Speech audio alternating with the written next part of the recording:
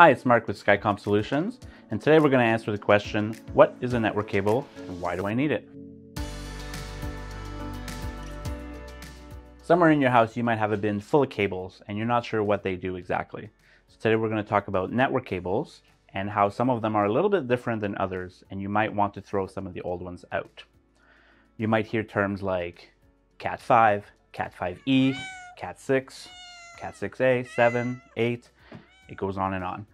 And the common ones you'll find in your home are going to be Cat5 and Cat5e.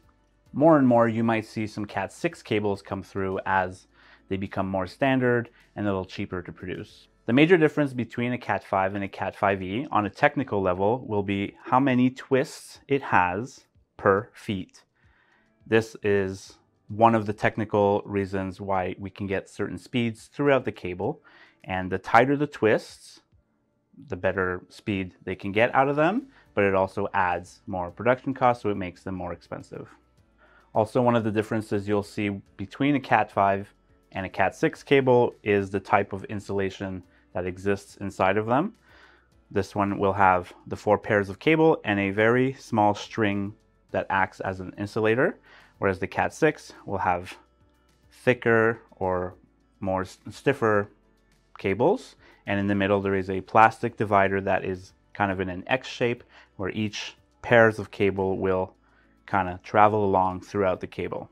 But what is a network cable for? A network cable will allow you to connect a computer or a laptop, even your PlayStation, to your network on a physical level. So you don't have to rely on wireless if you don't have a strong signal or if you're too far away from your access point. Typically a network that is hardwired will have stronger reliability and will maintain speeds a lot better than wireless, especially if there's a lot of users. A good long network cable can also link two buildings together by passing underground through a conduit. So how do you know which cables you should use in your home when you're adding a new device?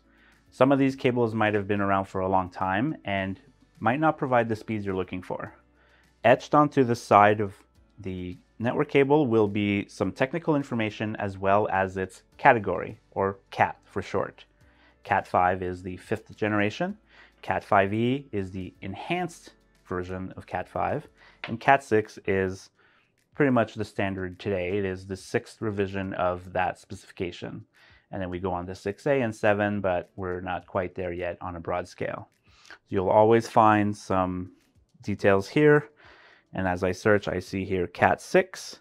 So I know that this is a category 6 cable. I don't necessarily have to cut it open to see what's inside because you can buy them pre-molded, ready to go. The cable ends might appear different to you as well. For example, this one here is an unmolded cable end. It is just the RJ45 connector that's slipped onto the wire. This one here, for example, has a molded end. So there's an extra piece of rubber here that is joined together and it just makes the connection a lot sturdier here, uh, resists flex or pull uh, without damaging either the end or the device that it's connected into. Could be your computer or your router.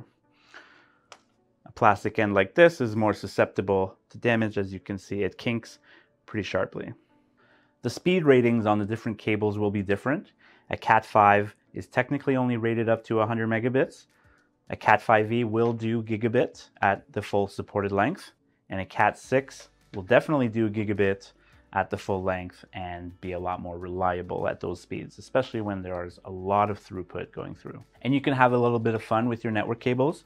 They come in all different kind of colors and lengths that you might need. They're available at pretty much any electronics store. And as long as you look at the packaging and the cable itself, it'll say Cat5e or Cat6. That's what you're looking for.